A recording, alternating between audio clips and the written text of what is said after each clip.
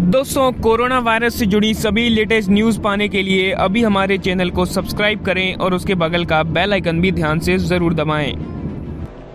दोस्तों, अगर आप भी ये चाहते हैं कि कोरोना वायरस जल्द से जल्द खत्म हो जाए तो इस वीडियो को अभी दिल से लाइक कर दीजिए दोस्तों कोरोना जैसी महामारी से इस वक्त दुनिया के 200 से अधिक देश जूझ रहे हैं। इस समय कुल उनतीस लाख से भी ज़्यादा लोग कोरोना की चपेट में आ चुके हैं। भारत की बात करें तो यहाँ भी छब्बीस हज़ार से ज़्यादा मामले सामने आ चुके हैं, जिसमें से अभी तक कुल 825 लोगों की मौत भी हो गई है।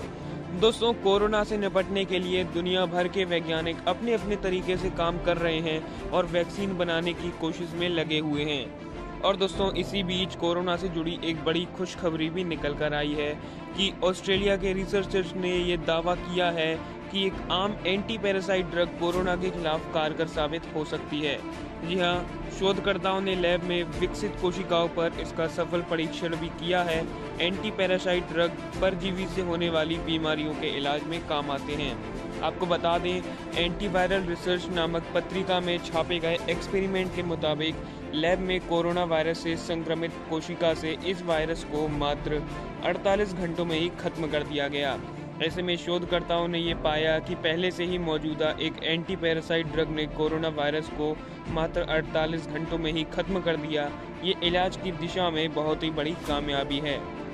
दोस्तों, इससे अब क्लिनिकल ट्रायल का रास्ता साफ़ हो सकता है और शोध के मुताबिक एवरमेक्टिन नामक दवा की सिर्फ़ एक खुराक कोरोना वायरस समेत सभी वायरल आरएनए को खत्म कर सकता है।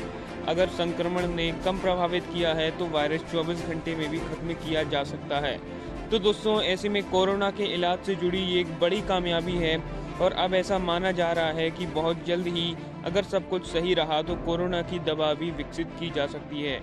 इसके अलावा दोस्तों, कोरोना वायरस के फैलते संक्रमण से निपटने के लिए भारतीय वैज्ञानिकों ने भी एक बड़ी सफलता पाई है। दरअसल, भारतीय वैज्ञानिक कोरोना की जाँच के लिए किट बनाने में कामयाब हो गए हैं। सीएसआईआर के वैज्ञानिकों द्वारा विकसित ये पेपर स्ट्रिप आधारित परीक्षण किट है। इसकी मदद से मात्र एक या डेढ़ घंटे में संक्रमण का पता लगाया जा सकता है।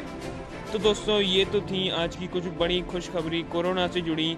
अब दोस्तों, आप हमें नीचे कमेंट करके बताइए कि क्या आप भी लॉकडाउन का अच्छे से पालन कर रहे हैं या नहीं। जल्दी से जल्दी नीचे कमेंट करके ज़रूर बताइएगा। तो दोस्तों, फ़िलहाल इस वीडियो में इतना ही है। कोरोना वायरस से जुड़ी सभी लेटेस्ट न्यूज़ पाने के लिए अभी हमारे चैनल को सब्सक्राइब कीजिए और उसके बगल का बेल आइकन भी ध्यान से ज़रूर दबाइएगा। तब तक के लिए दोस्तों, धन्यवाद।